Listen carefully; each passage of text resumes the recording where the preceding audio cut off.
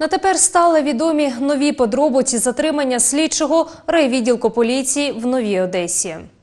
Надвечір понеділка співробітники Служби безпеки України спільно з військовою прокуратурою викрили на хабарі правоохоронця. Оперативники спецслужби встановили, що лейтенант поліції вимагав від місцевої жительки 12,5 тисяч гривень за нібито надані завідомо неправдиві показання в ході розслідування кримінального провадження. Затримання відбулося у центрі Нової Одеси під час отримання першої частини хабара у розмірі 9 тисяч гривень.